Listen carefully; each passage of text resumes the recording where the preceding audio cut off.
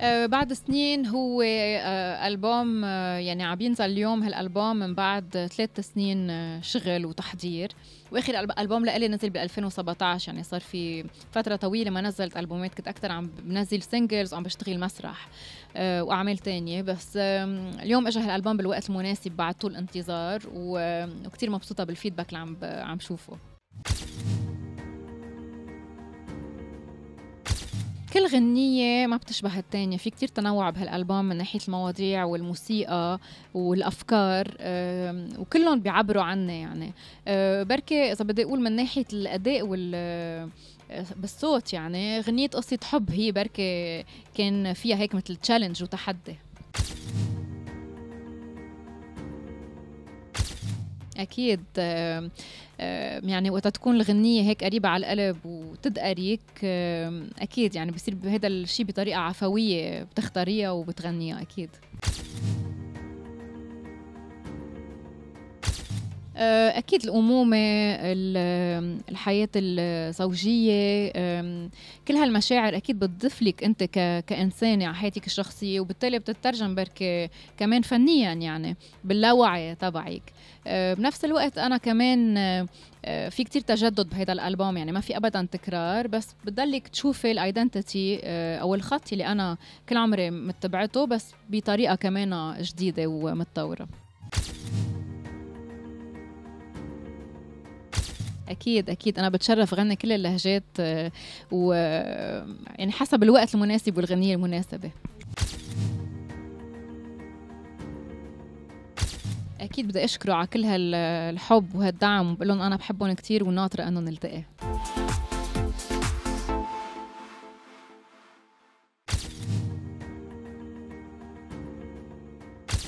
هذا الحدث آه، حدث كثير مهم لأنه عم نشارك انسانيا ودعما لجمعية الينبوع اللي بتهتم بالأطفال والأشخاص آه، ذوي الاحتياجات الخاصة. وهذا واجب علينا اليوم بمجتمعنا وبكل المجتمعات نكون حد آه، هال هالأطفال والناس البريئين اللي هن فعليا ملايكة حدنا.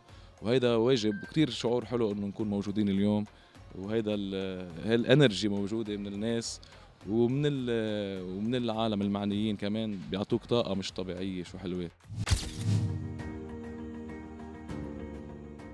طاقة إيجابية كثير كبيرة. بيرد الروح آه، عن جد بيعطوك أكثر ما أنت بتعطيهم. يعني شو ما تعمل أنت فعليا اليوم عم بتشارك عم بتساعد هالعالم ما ما بتعطيهم قد ما هن فعليا يمكن ب هيك إحساسهم ولهفتهم تجاهك وصدقهم قد إيه هن بيعطوك أكثر بكثير فهيدا شعوري إنه أنا رايح آه، هيك مشرج مشرج منه. الرسالة اللي اليوم لازم يعني حبيت وجهها آه، إنه عن جد آه، مهم كثير الإنسان يكون بمجتمعه فعال ويوقف حد الأشياء اللي لازم يوقف حدها ما يكون بس متفرج. هذا الشيء بيطور المجتمع وبيطور الوطن وبيطور الإنسان. كثير مبسوط و والحلو ببكير إنه فعلا هيك بتلمس آه، آه، الذكريات للكبار. بيرجع ولد صغير اللي عم بيسمعها بيتذكر حاله يمكن والحب الأول اللي حسه هو وصغير. والأطفال واللي عمرهم صغير بيعتبروا إنه هيدي الغنية كمان بتخصهم هلأ. فحلو هذا الموضوع إنه موضوع الكلام واللحن كلام لنبيل خوري واللحن. عن جد قدر صاب من خلال هالموضوع وقدرنا اشتغلناها كلنا مع بعض مع التوزيع والإخراج. هيدا آه، الإحساس عند العالم وعم عم نشوفه من أول نهار وشيء كتير حلو. للجمهور العراقي كل الحب والله يحمل العراق وإن شاء الله يا رب يكون لنا لقاءات وحفلات مع بعض بالمستقبل القريب.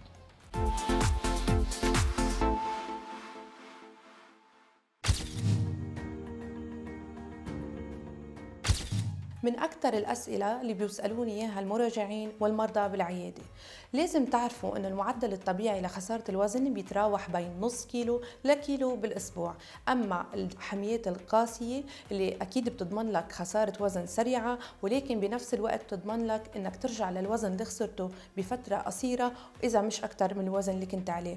وهيدي الحميات ما بتساعد على خسارة الدهون وإنما الخسارة معظمها بيكون من الكتلة العضلية أو من المي. وخسارة الكتلة العضلية يعني تباطؤ معدل الحرق ويعني أنت عم بتبعد عن هدفك أكثر بالإضافة لأنه ممكن تؤدي الحميات القاسية لخسارة العناصر الغذائية من المعادن والفيتامينات المهمة واللي بيترافق هالشيء مع مشاكل صحية من ضمنها تساقط الشعر تكسر الضفير وغيرها من المشاكل الصحية كمان مثل شحوب البشرة. فنصيحتي لكم خلي أهدافكم واقعية ملموسة سهلة التطبيق والهدف الصغير رح يوصلك للهدف الكبير وخطوة رح ورا خطوة مع الاستمرار والثبات والصبر رح توصل لهدفك الكبير ورح تنقص بالوزن قد ما بدك. إذا كان الشخص فعلا ملتزم بالحمية الغذائية وفعلا عم يمارس رياضة وملتزم بالتعليمات وتوقف الوزن عند رقم معين فهيدا الشيء طبيعي. في رحلة خسارة الوزن هيدا المرحلة طبيعية وأكثر الأشخاص رح يمروا فيها. بعود هيدا الشيء لظاهرة ال whoosh effect لأنه خسارة الدهون ما بتعني خسارة الخلية الدهنية أو اختفاء الخلية الدهنية وإنما خسارة الدهون من داخل الخلية الدهنية. والجسم كردة فعل بجرب إنه يعبي مي مطرح الدهون اللي عم نخسرها لحتى تتعبى كل الخلية الدهنية بالمي على أمل إنه يحافظ على شكل الخلية الدهنية على أمل إنك أنت ترجع تكسب وزن مرة ثانية ويرجع يعبيها بالدهون ويحافظ على شكلها. ولكن مع الاستمرار والثبات ومع متابعة الحمية بالشكل الصحيح مع المختص أكيد مع الوقت بفترة زمنية بتختلف من شخص للتاني رح تنزل كل هالمي من الخلية الدهنية ورح تنكمش الخلية الدهنية ورح تشوف الفرق فجأة وبشكل مباشر على الميزان وبمقاساتك. لكل حدا عم يسألني هذا السؤال بدي لكم إذا كان نظامك الغذائي له تاريخ انتهاء فأكيد أنت رح ترجع للوزن اللي كنت عليه إذا مش أكثر ال diet مش برنامج غذائي مؤقت إنما هو lifestyle نمط حياة أسلوب حياة. لازم نحن نعدل بمفاهيمنا ومعتقداتنا وأسلوب حياتنا. لازم نتبنى عادات غذائية صحيحة ونتخلى عن العادات الغذائية السيئة. نحن إذا رجعنا للعادات الغذائية اللي سببت لنا زيادة الوزن أول مرة فأكيد وزننا رح يرجع يزيد مرة ثانية ممكن يكون صعب علينا أو على بعض الأشخاص انه يغيروا عاداتهم الغذائية المتعودة متعودين عليها أو انه يطلعوا من ال comfort zone تبعهم أو منطقة الراحة. ولكن نصيحتي لكم إنه نحن ما نغير كل العادات الغذائية الخاطئة مرة واحدة لكن كل مرة نتبنى عادة غذائية صحية ونمارسها لحتى نتعود عليها وبعدها نرجع نتبنى عادة غذائية سيئة. كانه مثلا نحن إذا نكون عم نشرب آه، مشروبات غازية نكون عم نتخلى عنها بالتدريج لحتى نعيش حياة صحية من دون المشروبات الغازية ومن دون أضرارها. بعدها بنرجع نتبنى عادة غذائية صحية تانية وبهالطريقة بنكون عم نغير حياتنا الصحية ونحافظ على صحتنا وعلى وزننا. هلأ رح اعطيكم 11 خطوة تتبعوها بنمط حياتكم وأسلوب حياتكم إلى مفعول كتير كبير وسحري على خسارة الوزن والحفاظ على الصحة رغم إنها بسيطة وسهلة. أول وحدة إنه نحن ناكل ببطء ونكون عم ناكل بوعي. الأكل ببطء بيساعد على خسارة الوزن خاصة إنه نحن عم نعطي مجال للجسم إنه يعطي إشارة لدماغنا إنه نحن شبعنا ومش ما بقى بدنا ناكل. رقم اثنين تحديد موعد ثابت للوجبات. هيدا الشيء رح يساعدنا على إنه نحن نتحكم بهرمون الجوع وهرمون الشبع. بنصير عم نحدد الوقت اللي نحن بدنا بيطلع فيه هرمون الجوع والوقت اللي بدنا ناكل فيه وأكيد هيدا الشيء كمان رح يساعد على خسارة الوزن. رقم ثلاثة لازم نترك من ثلاث لأربع ساعات بين الوجبة والوجبة اللي بعدها. وبثلاث أربع ساعات هو لازم نكون عم نصوم عن كل شيء بيحتوي على سعرات حرارية. هيك بنكون عم نعطي فرصة للجسم إنه يحرق دهون. هيدي النقطة كتير مهمة. خلال هيدي ثلاث ساعات بنكون فينا نشرب مي سوائل أعشاب قهوة شاي بلا سكر أو أي شيء ما بيحتوي على سعرات حرارية. رقم أربعة وقت الأكل بس للأكل. ما بنكون عم نحضر TV أو عم نتفرج على الموبايل ونحن عم ناكل. بدنا نكون عم ناكل بوعي. عم نعرف شو عم ناكل وقديه عم ناكل. رقم خمسة اختيار الوجبات المشبعة اللي بيكون حجمها كبير بس قليلة بالسعرات الحرارية مثل الخضروات أو البوب كورن اللي هو البشار من دون إضافة كمية كبيرة من الدهون. رقم ستة إنه نشرب كوبين من المي قبل كل وجبة له مفعول كتير كبير بيساعد على خسارة الوزن. شرب كوبين من المي رح يساعدنا على التمييز بين الجوع الحقيقي والجوع الوهمي. أحيانا شعورنا بالعطش الجسم بيفسره على إنه شعور بالجوع. ولكن وقت بنشرب كوبين من المي هيدا الشيء رح يساعدنا على تحديد هل هو جوع حقيقي أم جوع وهمي. كمان رح يساعدنا على أكل كميات أقل خلال الأكل وهيدا الشيء بيساعدنا على خسارة الوزن. رقم سبعة تضمين الألياف ضمن وجباتنا أو ضمن نظامنا الغذائي. الألياف إلى دور كتير مهم بالحفاظ على صحتنا بإحساسنا بالشبع لفترات طويلة وبصحة الجهاز الهضمي. ولكن إذا كنا ما عم نتناول الألياف خلال نظامنا الغذائي وقررنا ندخلها لنظامنا الغذائي آه، بتمنى يكون هيدا الشيء بالتدريج لحتى يبلش الجهاز الهضمي يتعود عليها شوي شوي وكل مرة بنكون عم نزيد الكمية. رقم 8 high quality sleeping إنه نحن ننام نوم عميق عالي الجوده وقت بنقول نوم عالي الجوده هو نوم الليل نوم مش أقل من 8 ساعات ونكون عن عم ننام بغرفة معتمة بعيد عن الأجهزة الإلكترونية نص ساعة قبل ما نخلد للنوم. التوقف عن الأكل عند الشبع المريح وما نخلي حالنا نوصل للشبع التام أو لمرحلة التخمة اللي ببلش عنا يضيق النفس وببلش عنا صعوبة وعسر بالهضم. أكيد أنا مش مع الحرمان فعاشر نصيحة رح تكون إنه نحن لما وقت بدنا ناكل حلو لازم نعرف كيف نختار الحلو. الحلو لازم يكون بعد الوجبة الرئيسية تكون قطعة صغيرة مرة واحدة باليوم ما تتجاوز وزن 30 جرام أو بحجم علبة الكبريت. وأكيد ما تنسوا أنه ممارسة الرياضة جزء كتير مهم من حياتنا الصحية وأسلوب الحياة ونمط الحياة الصحي. على الأقل نمشي 30 دقيقة يوميا. وإذا كان فينا نروح على الجيم بيكون أحسن.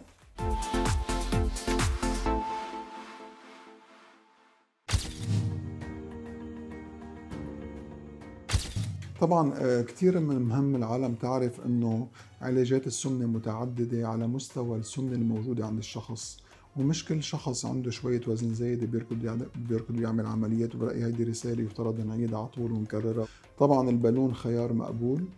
أو العلاجات الثانية اللي منا جراحية خيارات مقبولة بس للناس اللي عندهم أوزان قليلة. يعني مش مقبول أعمل أنا بالون لواحد وزنه 130 كيلو أنا عارف رح ينزل 15 كيلو ويرجع بعد ست شهور يحتاج يعمل عملية من بعدها. بقى البالون أكيد خيار مقبول بالنسبة للناس اللي عندهم نسبة وزن للطول بين 25 و 30 هذا هو البالون يعني مش نسهلها على العالم اللي عنده بين ال 10 وال 15 كيلو. هذا ممكن يستفيد من البالون. طبعا في تقنيات حديثة كتير بالبالون اللي هي بسموها الكبسولة الذكية اللي هي ما بتحتاج تعمل نادور الواحد قبل ليحطها ولا من بعد ليشيلها هي عبارة عن حبة تنبلع الوقت حوالي خمس دقائق عشر دقائق بتتعبى هالحبة مي وبعد أربعة أشهر بتدوب وبتروح مع الخروج. اسمه الكبسولة الذكية أو الألبس بالون كتير منيحة. بس برجع بأكد إنه هي للناس اللي عندهم 10 ل 15 كيلو. طبعا ممكن يعمل التهابات بالمعدة. ممكن ما يتحملوا الشخص ويقول لنا بدي شيل البالون. ممكن ما يقدر يبلع الحبة تاعت البالون. وممكن هالبالون يمرق على المصران ويسكر المصران طبعا هالشيء بصير واحد بال 500 مريض بال 600 مريض؟ بس مهم الشخص يعرف إنه ما في procedure بيجي بيعمله هو 0% مشاكل. في نسبة مشاكل بس كتير قليلة نسبيا. طبعا آه، دائما نحن الناس اللي بنحط لهم ال Ellipse balloon بنحطهم على strict protocol بالنسبة لنوعية الأكل كمية الأكل طويله الأكل بتابعهم dietitian بيكون عندهم ميزان وساعه connected online لنقدر نتابع كيف تطور نزول الوزن عندهم. بأي محل بنلاقي خف النزول أو وقف دغري بيكون في حدا بيتواصل مع المريض لينبهه لهالموضوع. طبعا هذا كله بيحتاج إنه الشخص يمشي على نظام معين. طبعا النظام منه نظام حرمان وإنما بده يعرف إنه عنده تقريبا آه، أول أسبوع أكله بيكون سوائل بعدين عنده أسبوعين أكل طري وبعد أسبوعين لفترة الأربعة أشهر أكله بيكون كل شيء بيقدر ياكل بس بننظم له أكله مشان يساعده إنه يوصل للوزن المثالي اللي بده إياه. هلأ للأسف الضمانات منا موجودة لأنه هذه مرتبطة بكذا عامل، العامل الأول هو هل الشخص كان ملتزم ولا لا بالنظام اللي بنعطيه؟ number 2 هل جسمه من الأجسام مساعدة لأن في ناس أجسامها كثير صعبة. الشغلة الثالثه هل هو عم يعمل ال physical activity اللي لازم يعملها؟ أنا بعطي chance إنه ينزل 10 ل 15% تقريبا 80 ل 90% من الناس بينزلوا هال 10 ل 15% من الوزن. بضل عندك نسبة قليلة نعم أكيد ما في شيء بالطب بنعمله وال success تبعه 100% طبعا نحن ننصح كل الحوامل آه، يعني الستات انه ما يصير عندهم حمل هو البالون موجود. بس لا ما بيأثر ابدا اللي بنعمله إنه ممكن بنادور بينعمل نادور وبينفخت البالون بيتفضى من المعدة. أنا بفضل طبعا إنه بالنهايه الست وقت بيكون عندها pregnancy بدها تهتم بالغذاء تبعها شو تاكل شو تشرب. بعدين في جزء كبير منهم عندهم أول ثلاث شهور بصير عندك آه، لعيان استفراغ من الحمل بقى. ما بدنا نزيد عليها وجود البالون كمان بالمعدة. منا مضطرة لا هي تعيش تحت هال stress ولا الجنين تبعها ينحرم من الغذاء اللازم. لذلك لا أنا بنصح كل الصبايا إنه بالوقت اللي البالون موجود فيه اللي هو 3 4 أشهر يعملوا كل جهدهم إنه ما يصير أي حمل وإذا صار حمل لا الأفضل إنه البالون يتنزل طبعا لا الأدفانتج بالبالون إنه أنت منك بحاجة لتاخذ كميات كبيرة من الفيتامين بس نحن اللي بنعمله بنعطي روتين لكل المرضى اللي عاملين بالون بالاربع أشهر اللي موجود فيها حبة فيتامين كل يوم بتعوضهم عن النقص ليش؟ لأنه هو كان يأكل خلينا نقول كمية هالقد من الأكل صار يأكل هالقد. وبالتالي جسمه ما راح يمتص كل البروتين والغذاء اللي كان يأخذهم قبل. بنعطي إحنا روتين لكل مرضى أربعة أشهر متى ما راح البالون بيرجع لوضعه الطبيعي الشخص. طبعا ال ring هي تقنية قديمة جديدة. ال ring القديمة اللي كانت تنفخ وتقعد على المعدة ومرات تعمل هريان بالمعدة وإلى آخره تقريبا اختفت بالعالم كله سوا. هلا في نوعيات جديدة من ال ring silicone based ما يعني نسبيا الاذى تبع المعدة تبعها كثير قليل. وهي عبارة عن حلقة بتقعد على المعدة ممكن تنعمل مع عملية تصغير الوزن أو بلاها وبتساعد على نزول تقريبا حوالي 20 25 آه، كيلو. بقى والدراسات عليها صار حوالي خمس أو ست سنوات عم تعطي safety profile يعني آمنة بشكل كتير منيح. بقى بيقولوا ال ring آه، شكلها إنه عم ترجع شوي شوي بس برجع بأكد منا نفس ال ring آه، لا ال ring القديمة ولا ال concept القديم ولا حتى ال texture تبعها تماما مختلف ال ring الجديده الموجودة بس بتوقع يكون لها شغل. وخاصة عند الناس اللي ما مشي حالهم بالعمليات. هال ring هيدا عم تساعد الناس إنه آه، يرجع ينزل وزنها بدون ما يكون عملية aggressive يعني. هيدي بدهم ينسوها. ما في هيك شيء بالطب ووضع السمنة. ما في الشخص يعيش على مزاجه. أنا بقول okay وقت اللي بدك تاكل كول بس كول ضمن اعتدال. بيجي على بالك تاكل أكلة كلها خبص بالجمعة مرة ما عليه شيء بس ما في يقول والله شد لي ال ring هلأ بدي آكل. لأ رخي لي رايح عندي وجبة هلأ وسهرة. It doesn't make sense فبقى شغلتين بيخلوني أقول لا للبوتوكس. أول شغلة البوتوكس toxicity في ناس بلبنان وبرات لبنان صار عندهم مشاكل كتير كبيرة وصلت للوفاة من وراء over بوتوكس انعطت بكميات كتير كبيرة. والشغلة الثانية واللي هي كمان كتير مهمة إنه ما عم يعطي النتائج اللي عم نشوفها على السوشيال ميديا. أنا بتفاجئ على تيك توك و بيطلع لك طبيب متصور هيك ب position غير شكل وبيقول لك أنا صار عندي 50 كيلو 60 كيلو 30 كيلو. هالشيء هذا كلام منه دقيق ابدا. ما عم بالغ إذا عم أقول 90% من الناس اللي بيعملوا بوتوكس ال average اللي بينزلوه 4 5 6 كيلو. ومتى ما راح مفعول البوتوكس عم يرجعوا يزيدوا مثل ما كانوا قبل. ماني ضد بالمبدأ بناس يكون عندهم خبرة كتير قوية يعرفوا شو عم يعطوا الكميه اللي عم يعطوها بس يوضحوا للمريض إنه نزول الوزن هو 4 5 6 كيلو مش أكثر من هيك. الناس اللي عندها وزن زايد بتعرف إنه الوزن الزايد بهالأيام هو مرض. مرض عم يصيبنا آه، كلنا آه، أطفالنا شبابنا كهولنا. وهالمرض هذا له علاجات واللي بتبلش من نظام غذائي صحي.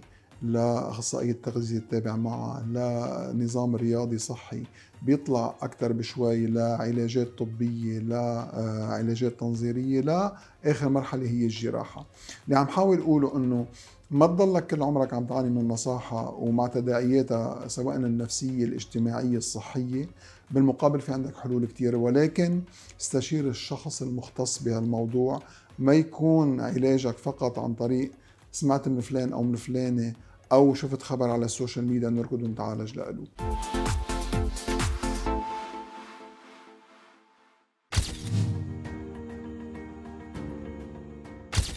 الألوان الزاهية أو ال bright colors هن من أكثر الألوان اللي نحن حنشوفها هلأ بموسم أو صيف 2023 مثل الأخضر الأصفر الفوشيا الأحمر ال orange. وهيدي الألوان نحن كثير حنلاحظ تواجدها بصيف 2023 مثل ما كمان لاحظنا إنها موجودة بال fashion week بميلانو. فشفنا أكبر دار الأزياء أو المصممين العالمية استخدموها واستخدموها بتدرجاتها. لأنه هيدي الألوان بتحسس المرأة أكثر بقديش هي ظاهر طابع الأنوثة عندها وقد إيه بنفس الوقت هي مرتاحة مع حالها ومبينة قد إيه هي لامعة وساطعة بالمكان اللي هي عم تتواجد فيه.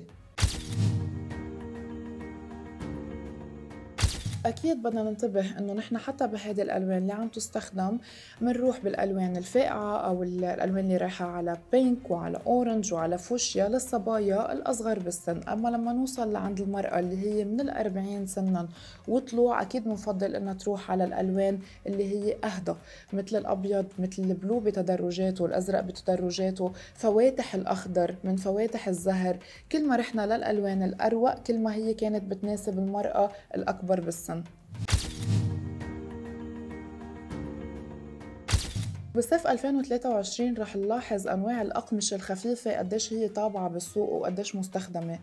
يعني مثل الفساتين اللي نحن كنا معودين إنه نشوفها بس على البحر الجديد بصيف 2023 إنه نحن حنشوفها عم تستعمل كتير لكل يوم. يعني مثل القماشات اللي نحن كنا عم نشوفها اللي هي فيها ألوان فيها prints فيها طبعات مختلفة فيها ألوان الأزرق مع الأبيض الأصفر مع ال pink أو ال baby pink كتير من هيدي الألوان الصيفية ومن هيدي القماشات الصيفية رح تكون عم تستخدم لل daily life أو الاستعمال اليومي. عدا عن إنه نشوفها على البحر. هلأ كل شيء oversize كل شيء واسع كل الكم اللي هو صار واصل عنا trois quarts أو لكوع الإيد. آه، عم يستخدم كتير باللبس مع belts على الخصر مع شورت مع لاجينج مع skirt التنورة والشورت واللاجينز كتير موجودين وال dresses الواسعة كتير موجودين. صارت المرأة أكتر عم بتروح إنها تحب تحس حالها ب هي وعم تعيش حياتها اليومية تكون مرتاحة مع حالها. عم بتفضل إنها تروح أكتر على ال dresses أو السبورات اللي قادرة تلبسها مع slipper بإجرها. والألوان اللي هي حسيتها حاسة حالها فيها إنها طالعة ساطعة وبنفس الوقت مرتاحة. هذا الفستان مثل ما نحن شايفينه بالقصة اللي انعملت فيه الشكل اللي استخدمناه على الصدر مع الجدول اللي نازلة من هون والحزام المطاط اللي مستخدمينه بقلب القماش من جوا هيدا بناسب أكتر من فئة من العمر. هو بريح طبعا لأنه هو فلو من هون واسع فهو ما ببين عنا تضاريس الأوراق وبنفس الوقت بيعطينا قصة الخصر الصغير. وهون عنا نفس القماشة نحن عم نستخدمها بقصة مختلفة. غيرنا بقصة الصدر علينا الشك صار ما بين الصدر والكتف وأكيد صارت القصة أوسع. للصبية اللي بتحب تحس حالها لابسة oversize أو أكتر كمان بناسب المدامات اللي هن من عمر ال 39 40 وطلوع. وكمان عنا من نفس الألوان اللي كنا عم نستخدمها موديلات مختلفة. وهون رحنا بالمغاط اللي موجود على ميلة الصدر لأكتر يكون شادد من هون ويعطينا form الواسع من تحت الصدر ونزول للأشخاص اللي بحبوا ما يبينوا ميلة البطن الوراك الفخاد يكونوا محددين بس ميلة صدرهم مع الحفر الرفيع وكمان بشكل إنه تقدر الست إنها تتحكم بعلو وطول الفستان من هون مثل ما هي بتحب. ولحتى نكون عم نرضي جميع الأذواق كمان نحن رحنا لنفس القماش وقدرنا أنه نعمل منه الفستان. القصير اللي فتحته أكتر على الصدر مطرز بالألوان الذهبية من فوق كرمال يكون ملفت أكتر للصبية اللي بتحب أنها تكون لابسته بهالطريقة. ومن هذا القماش اللي هو مريح وطاغي كتير بصيف 2023 كمان قدرنا أنه نحن نعمل الصك أو الجزدان للصبية اللي عبالها أنها تلبسه إن كان بالنهار أو إن كان إذا حبت ترتديه على البحر. فهيدا القماش رح نشوفه قد طاغي بصيف 2023 بالفساتين بالقصص ال oversize بالعبايات وحتى بالجزدين وهون صرنا عم نروح للألوان النارية أكتر اللي هي الأحمر والأصفر. أكيد مع الفستان اللي هون استخدمنا فيه الفتحة على الفخذ. وكمان حاطين له المغاط ميلة الصدر مع قصة الصدر اللي هي بشكل V أو رقم سبعة. ومستخدمين له الشك اللي بنفس الألوان اللي على ميلة صدره. وهون رحنا كمان لقصة مختلفة واللي هي ال pant ال high waist أو العالي, العالي خصره مع ال top اللي هي قصيرة مع قصة للكم بشكل إنها بتجي بترجعنا لأيام الغجر. وهون اخذين فيها شوي الشكل اللي بيعطي ال glitter الخفيف. وأكيد من نفس ال fabric نحن قادرين إنه نستخدم الفستان للعالم اللي بتحب تحس حالها أكثر مرتاحة. وهيدي كمان استخدمنا من نفس القماش هيدا القميص يلي نحن قادرين نلبسه بهيدي الطريقة كفستان قصير. وكمان فينا إنه نفتح الزرار حيصير معنا كقميص نقدر نلبس من تحته شورت بنقدر نلبس من تحته الفيزو لاجينج بنقدر نلبس من تحته ال top نحن بنستخدمه وبنتحكم فيه باكثر من طريقة. ومثل ما كنا عم نخبركم الفساتين اللي كنا قبل نشوفها رائجة بس للمسابح وهي اليوم صارت بموضتنا وباستخدامنا اليومي. من هاي الفساتين كمان نحن من نفس القماش غيرنا بقصة الصدر.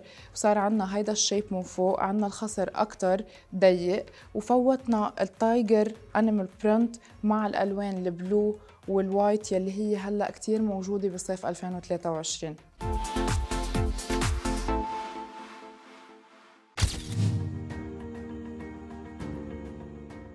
موضوع الطلاق كله أصلا هو موضوع لازم يكون موضوع شخصي موضوع ما لازم يتعدى البيت. يعني إن كان طلاق بسبب أو ل... أو ب... أو لعدة أسباب. شو ما كان السبب ما لازم يطلع برات البيت. مجرد ما طلع برات البيت صار في مشاكل زيادة. في ناس ممكن يكونوا يطلقوا بس آه، يضلوا على علاقة جيدة وخاصه إذا كان في أولاد. بس آه، اللي عم نشوفه هلأ من بعد ما عم يطلعوا على السوشيال ميديا صارت موضوع الطلاق آه، مثل ترند بيعملوه لحتى يجيبوا viewers أو لحتى خاصة الفنانين. الفنانين لما بده ينشهر فنان بيشهر طلاقه لما بده لما بده يوصل لمحل معين بيشهر طلاقه لحتى العالم تبلش تحكي فيه. وهذا الموضوع عم ياخذ كثير على السوشيال ميديا يعني صراحة زهقنا قد ما عم نشوف هيك حالات على السوشيال ميديا. عندي تجربة شخصية أنا إنسان مطلق بس أنا حتى على السوشيال ميديا بعدها صوري أنا ومرتي. سو so, هذا الموضوع أكيد ما حدا خصه فيه. لازم يضل بس بنفس العائلة يعني بنفس البيت. يعني إذا هو عم ينشر غسيل وهذا كيف بدي أنصحه.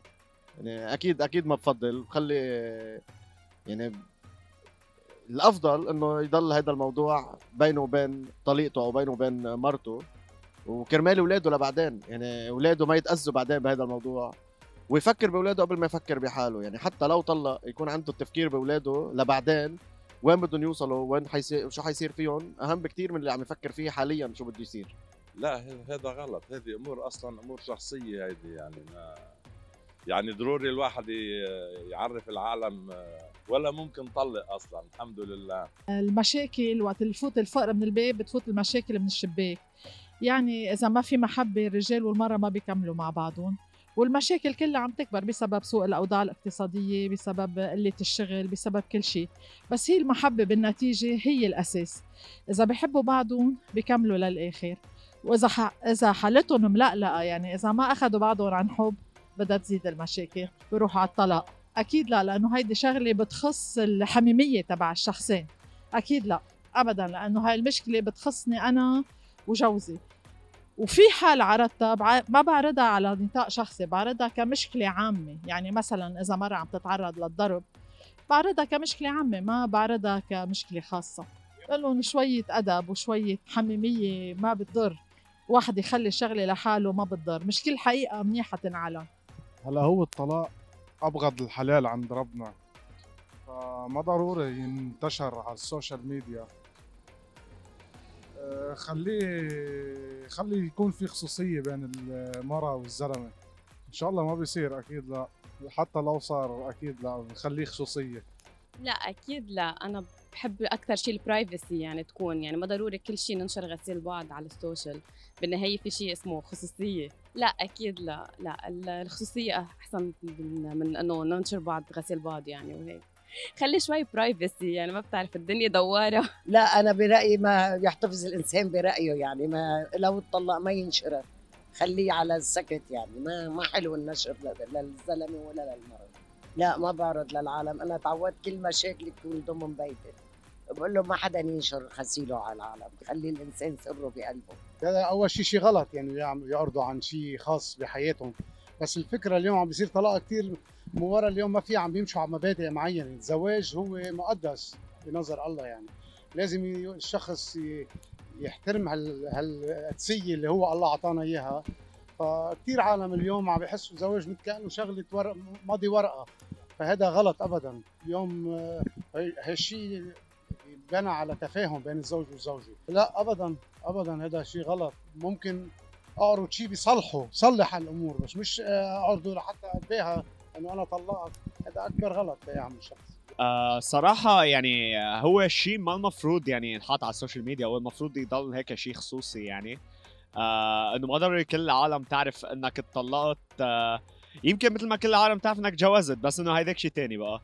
آه بس لا أنا أنا برأيي انه هذا شيء خصوصي لازم الواحد هيك يحافظ عليه لأنه الموضوع حساس وبصير وقت الكل يحكي إنه والله هذا اتطلق وهذا اتطلق ف فايه إنه ما شيء لازم ينحط على العلن يعني. آه كمان ما المفروض لأنه لأنه بعتقد بحالة بحالة الخطبة بحس أضرب شوي من من حالة الزواج لأنه بالزواج already يعني بتكون آه يعني بالطلاق في شوية هيك uncertainty بس إنه بال... بالزواج بتكون أنت أكيد وبعدين بتروح عليك. ف... فايه لا ما ما بعتقد شيء لازم ينحط. آه ما تحط طلاقك على ال social media أكيد لا.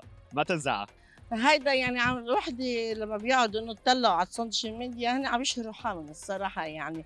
لأنه بطل في خصوصيات للعيال وللأهالي. بس بلشت العالم تعرض مشاكلها على ال social media. بطل في شيء اسمه حرمة بيت. يعني بطل في شيء اسمه مودة ورحمة صارت النسوان بتطلع على ال social media لتعرض خصوصياتها. يعني بطل في شيء اسمه خصوصيات عائلية اهتمام يعني بالعربي دارج يعني إنه بطل في دين هذا الاحترام للبيت. صارت المرأة إذا بدك تعمل طبخة الكل بده يعرف وبدها كيف تربي أولادها.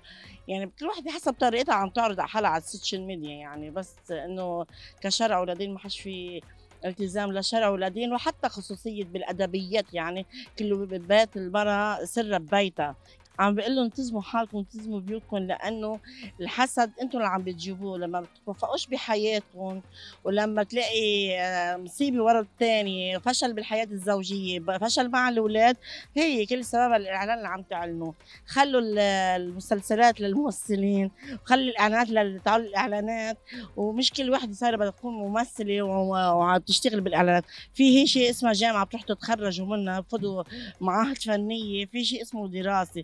مش كل وحده صارت حابه بدها تقهر رفقتها تطلع لها على الإعلان شوي. لأنه هيدا في شيء خصوصيه لبيتك وبعد الحسد والعن عنك لأنه هو أساسه اللي عم يحطوا على التليفونات. هيك موضوع صار متاح يعني بالأيام كثير عبر مواقع التواصل. الناس فاتحة حالها بحالها. صار الكل بيشتغل على على السوشيال ميديا. وللأسف هيدا أنا أنا بعتبره إنه شيء منه يعني منه لائق. في في خصوصيات بالنهاية كل بني آدم عنده خصوصيات المفروض إنه يحتفظ فيها لإله هو. مش كل شيء يكون يعني عامة مثل ما بيقولوا. في خصوصيات بني آدم. هلا شوف هلا هو ما في شيء بيتخبى يعني. بس إنه يعني مش ضروري تكون مثل ما بيقولوا مفضوحة. نصيحة لكل حدا. ما يعمم. خلي في أمور شخصية لإلك أنت. احتفظ فيها لإلك أنت. و